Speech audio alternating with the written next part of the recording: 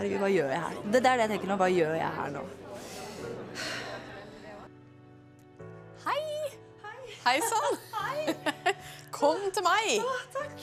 Er det klem du skal ha? Ja, selvfølgelig skal jeg ha klem. Hvordan går det? Ja, Du rygger bakover til meg. Ja, ja, ja, ja. Du står her med meg. Ja, så hyggelig. Jeg er egentlig veldig utadvendt og sosial og liker å være festens midtpunkt. Men så er det så sårt dette her med musikken.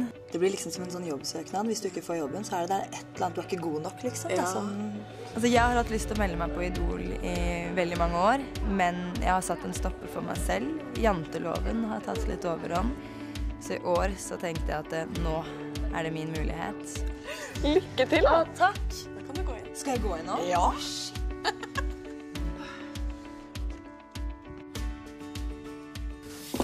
Hallo. Hei. Går det bra med deg? Ja, jeg er litt nervøs. Ja, men det er helt naturlig, det. Hvem eh, er du, da? Jeg heter eh, Iselin, 31 år. Fra Jeg er fra Drammen. Ja. Ja. Hva skal du synge? Jeg skal synge What About Us med Pink.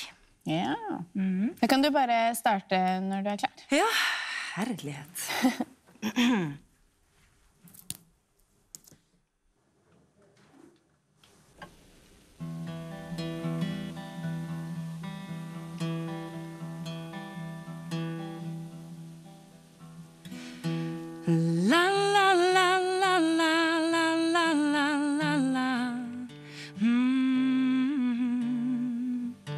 La la la la la la la la di da.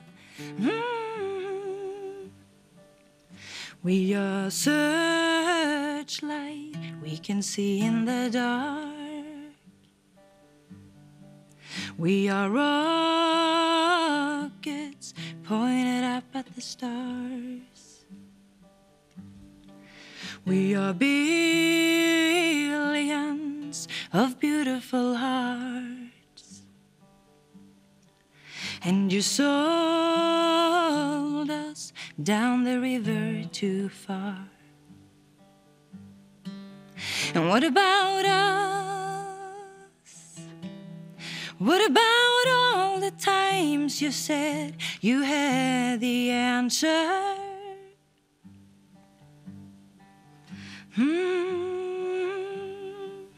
And what about us? What about all the broken happy ever after? Hmm. And what about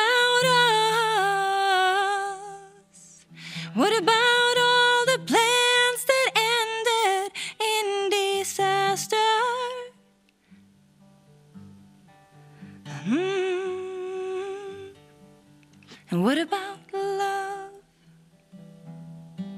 And what about trust? And what about us? Tusen takk. Det var en veldig fin auditionopplevelse, syns jeg. Behagelig. Litt lavmælt, men eh, du kom deg bra gjennom der, altså. Takk. Ja, Det handler om å skape øyeblikk, og det syns jeg du klarte. Det handler om å ha en god sangstemme. Det har du.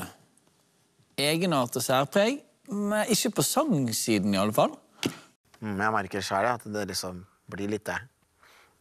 Jeg syns du sang veldig fint. Jeg synes Når du kom inn, så hadde du en litt anspent energi. Ja. Når du begynte å synge, så ble jeg imponert om hvordan det ikke var anspent i det hele tatt. Så det er veldig fint, ikke sant? I stemme. Eh, fra meg så blir det et ja. Å, herlighet. Ti.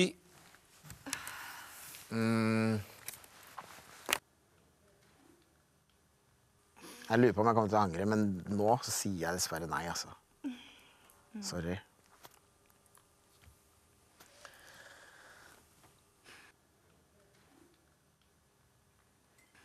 Gratulerer du videre i do. Å, herregud!